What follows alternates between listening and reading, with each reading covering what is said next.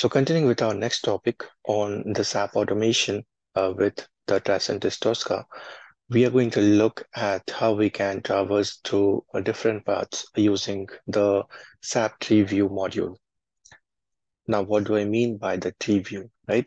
So instead of uh, entering the transaction code and going directly into a particular screen, maybe you have to also verify the tree view, right? So the tree view is this different folder structures, which you can see here, uh, which contains the main folder, which is the SAP menu. And then there are a couple of uh, subfolders, right, which has got different items here. So if we have to verify that the tree view exists, and we have to traverse a path uh, from this particular tree view, then we have to use this tree view uh, module, which is part of uh, the SAP X engine, right? So let's look at a particular example here. If I have to open the SAP menu and then I need to open the human resources here. And then under human resources, I need to go into payroll and go into Asia Pacific and then into India and then I need to go into payroll accounting. Okay, so this is the path which I need to traverse. As you can see, there are so many different folders here and traversing could be complex, right? But this has been simplified with the help of the standard module, which is already provided by Tosca. So uh, let's go ahead and let's automate this. So let's come back to our SAP GUI folder. Let's create a test case here and we are going to call this open HR payroll. And then uh, here we are going to go into the SAP uh, folder, which is part of the standard modules. And then we go to look for the SAP tree view. Okay, so we'll add this here. This contains two module attributes. One is menu path and one is doc tree menu. We'll be talking about the menu path. Okay, and I'm going to show you um, two ways of how you can traverse this complex path. So let's look at the first way where we will directly mention the path which we want to traverse in the tree view. Okay. So the path here is, uh, it starts from SAP menu, then human resources, and then payroll, then Asia Pacific, and then India, and then payroll accounting. Okay. So this is the whole uh, tree view. Let me uh, keep it here so that I can see this while entering. So we will start with SAP menu. And then we need to use a arrow mark so that uh, we can mention the next uh, folder in right here. Okay. So the next is human resources.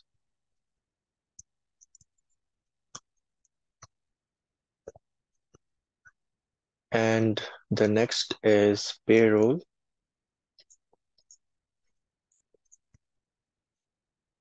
Okay, and then Asia Pacific. Now, instead of typing the whole uh, folder name, you can also type part of it uh, using the regular expression. Okay, so if I want to just mention Asia here, and then I can put a asterisk, which is a regular expression, which will cover the remaining part of the folder name. Okay, and then inside this, we'll have India and then payroll accounting. So I will mention here India and then payroll.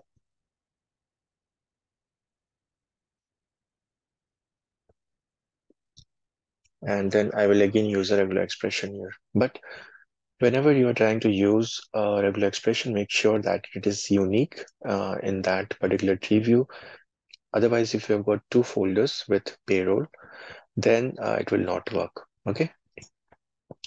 Now, uh, let's go back here into our SAP GUI application and let me go ahead and close all these folders or collapse them so that uh, now we can see how Tosca will uh, traverse through this whole path. Okay.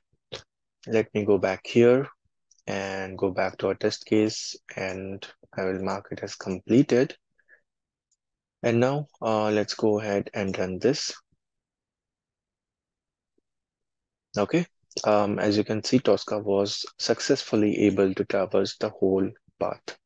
right? So it opened all the subfolders which we have mentioned in that path and it opened payroll accounting finally where we have got all the different uh, items related to payroll accounting. So this was the first way of doing this. Now let me show you another way uh, how you can use this particular module, right? So uh, if you don't want to enter uh, this whole path right here, what you can do is you can use the tree menu entry. Okay, so here I can mention human resources as the next item. And then I can mention payroll.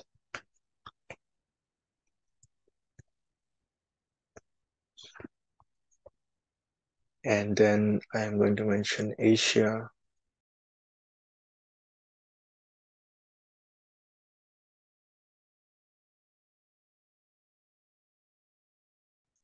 And then we'll just remove the whole path here and we'll just keep SAP menu, which is the main folder here. So that will uh, mention it in the menu path. And then we will use uh, all these attributes, which is the tree menu entry to enter all the subsequent uh, menu entries right here. So it will traverse this uh, path in this particular order, which you have mentioned here. Okay.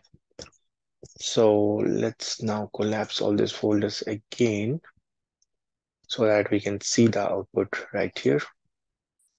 And then I'm going to run this. It will do the exact same thing, but it is another way of performing the same action. Okay. So as you can see, again, uh, it went into payroll accounting. So it traversed the whole uh, tree view menu.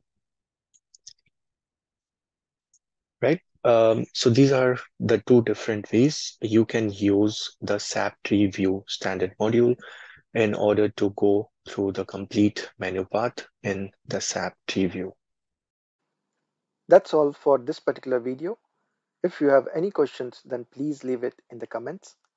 If you like this video, then please subscribe to our channel. Thanks for watching and I will see you in the next video.